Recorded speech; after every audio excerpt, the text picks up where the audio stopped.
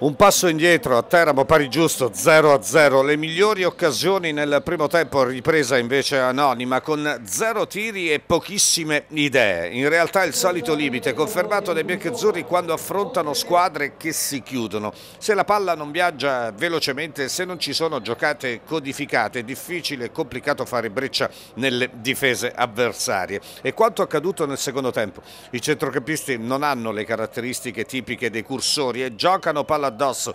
In simili casi a fare la differenza devono essere gli attaccanti che però non hanno lasciato il segno, soprattutto gli esterni. Clemenza deludente, solo un paio di fiammate di Dursi che non rischia un dribbling. Sembra più un esterno da 4-4-2, gioca sempre sulla linea e in orizzontale. Insomma, rispetto alla prova scintillante sfoderata col Cesena, il passo indietro, così come riconosciuto da tutti a fine partita, è stato evidente. Ci si aspettava aspettava di più, ma il punto non è da buttare.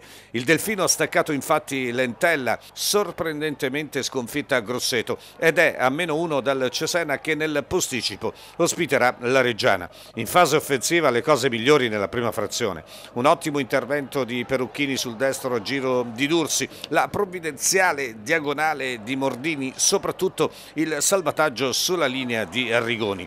Tre occasioni figlie di uno spunto individuale, di un contropiede e di un calcio da fermo. Nella ripresa decisamente meglio il Teramo, organizzato benissimo in fase difensiva con linee strette, prima 5-4-1, poi 5-3-2, ma anche intraprendente pericoloso con De Grazia, Bernardotto e Jacoponi.